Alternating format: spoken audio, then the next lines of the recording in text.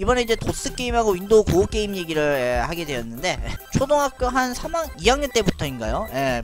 2학년 2, 3학년 때도 또 이사를 가가지고요. 예. 그 이후로부터 이제 또 게임기 게임 하, 거의 안 하다가 또 이제 메가 드라이브 했었다가요. 또 그러다가 이제 5, 6학년쯤 됐을 때 또 이제 그것도 이제 팔아 먹었죠. 예, 메가 드라이브도. 그 이후로부터는 이제 또 게임을 잘 안 하고 예, 그냥 뭐 집에서 예, 그냥 놀이터에서 놀고 그랬었는데 그 이후에 이제 저희 아버지께서 예, 컴퓨터를 하나 사 주문을 하셨어요. 예, 그것도 주문했는데 그 당시에는 여러분들 그 뭐 현주 컴퓨터라든지 뭐 삼보 컴퓨터 뭐 이런 거 브랜드 컴퓨터가 좀 많이 유행을 했었잖아요. 예.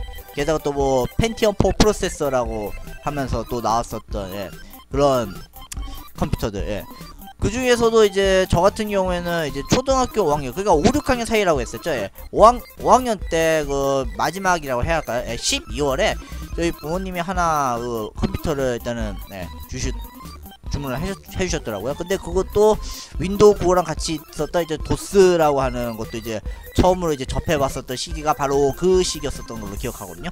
그 중에서 제가 처음에 했었던 에, 게임이 뭐였냐면은 음, 처음 했었던 게임이 라이온 킹이었었어요. 그 당시 1995년인가 6, 6 7년인가 아마 기억했을 때 그때 라이온 킹이 상당히 좀 인기 있는 애니메이션으로 이제 각광을 받았던 그런 시기였잖아요. 근데 그걸 이제 게임화해서 이제 스토리에서 만들어졌었던 예, 그런 작품 중에 하나가 바로 라이온 킹이었는데 나름 좀 스토리도 또 괜찮았었긴 했었어요. 근데 문제가 뭐였냐면은 좀 나중에 뒤늦게 좀 알게 된 것 중에 하나인데 버그가 좀 몇 개가 좀 또 발견되기도 했었죠.